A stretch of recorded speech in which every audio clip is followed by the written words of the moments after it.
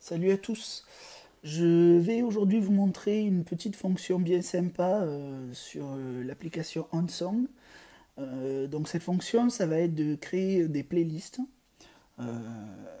par rapport aux chansons que vous avez dans votre répertoire. Alors imaginez que vous ayez pas mal de chansons ici dans votre répertoire. La liste peut être longue, hein. vous pouvez aller rajouter 200, 300 chansons, j'en sais rien. Et à partir de là, vous décidez que euh, vous avez euh, certaines de ces chansons dont vous voulez vous servir.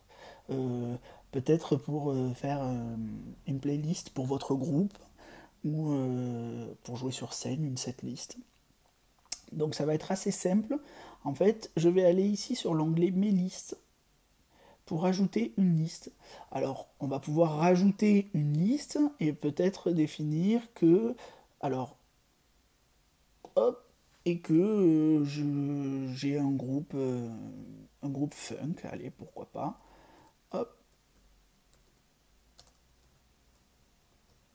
voilà. Et dans mon groupe funk, je vais vouloir rajouter des titres. D'accord? Donc là, pour l'instant, il n'y a aucune chanson dans mon groupe funk. Mais ici, je vais vouloir ajouter des titres. Je vais cliquer sur le petit plus ici.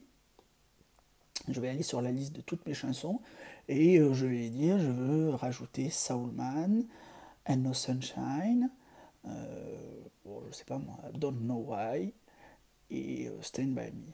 Voilà, pourquoi pas. Donc ces quatre titres, je voudrais les rajouter dans ma, dans ma setlist et je valide. Voilà, à partir de là, mes quatre titres sont venus s'ajouter ici. Alors, il reste quand même dans, euh, dans, euh, dans tous les titres, hein. je veux dire, ils n'ont pas disparu ici.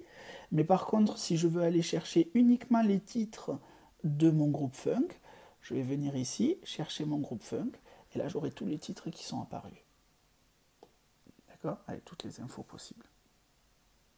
Voilà, donc ça c'est une. Alors, évidemment, on peut, on peut classer euh, avec pas mal de finesse. Donc on peut, vraiment rajouter beaucoup de listes et, euh, des sous-listes, mais je vais rester simple. Euh, après, on peut imaginer tout ce qu'on veut euh, avec ces, ces fonctionnalités-là.